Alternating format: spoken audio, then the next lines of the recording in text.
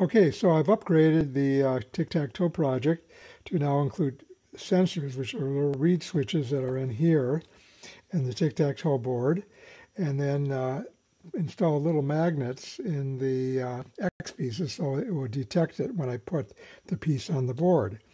And then the uh, sensors go to our uh, Arduino, a 25 Mega 2560, and then also the new addition is the turntable so that when I place a piece here, uh, this picks it up and then instead of feeding it the next piece, the rotate turntable, turntable will rotate and then pick up uh, the piece in this right spot. So let's start off here. I'll do a game here.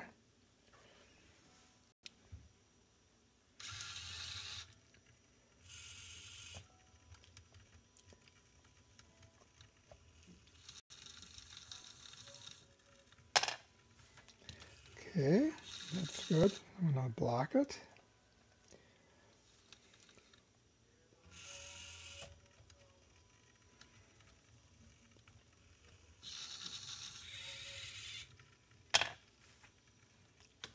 That's good. All right, we'll do a X across there.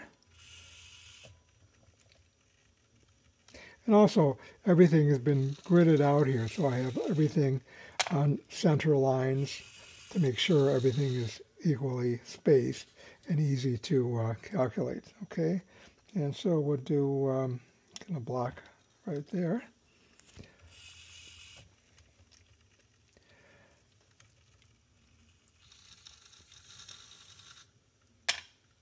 Okay, well obviously it's a draw, so uh, I have to do one more piece here to make sure.